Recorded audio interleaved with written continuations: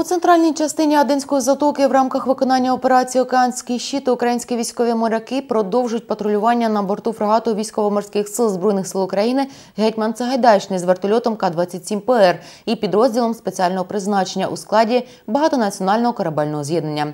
Під час патрулювання в морі військовослужбовці корабельного операційного персоналу ведуть візуальне спостереження, аналізують основні характеристики кораблів, швидкість, захищеність, здійснюють збір інформації про судна, які потенційно можуть підлягати нападу піратів.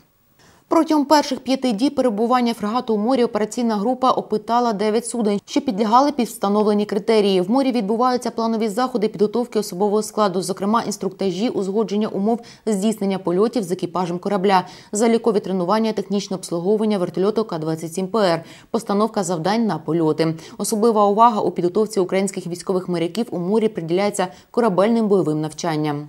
На підставі отриманої узагальненої інформації операційним персоналом своєчасно видаються рекомендації по застосуванню сил і вогневих засобів або виконанню кораблем маневру. Тому особовий склад виконує в повному обсязі покладені на нього завдання. Повідомив командир фрегату гетьман Сагайдачний, капітан другого рангу Роман П'ятницький.